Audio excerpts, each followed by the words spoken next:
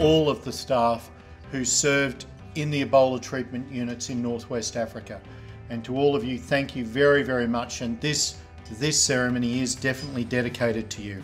In September of 2014, the United Nations declared that the Ebola outbreak in West Africa was a threat to international peace and security.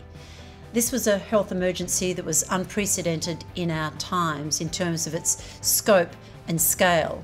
But the most visible sign of Australia's support for the international effort was undoubtedly the Ebola Treatment Centre, funded by Australia at Hastings Airfield in Sierra Leone. Indeed, the management of this centre and the success of this centre is due to the professionalism, the dedication, and the skill of the team that Aspen put together.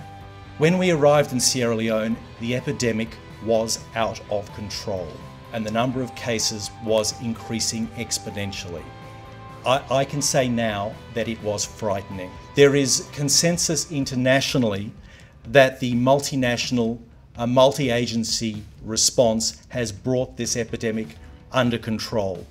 Uh, and there is little doubt that this has saved many thousands of lives and prevented the spread of this infection to other countries. However, not one staff member at the Hastings Airfield Ebola Treatment Centre uh, became infected with Ebola, either expat or local.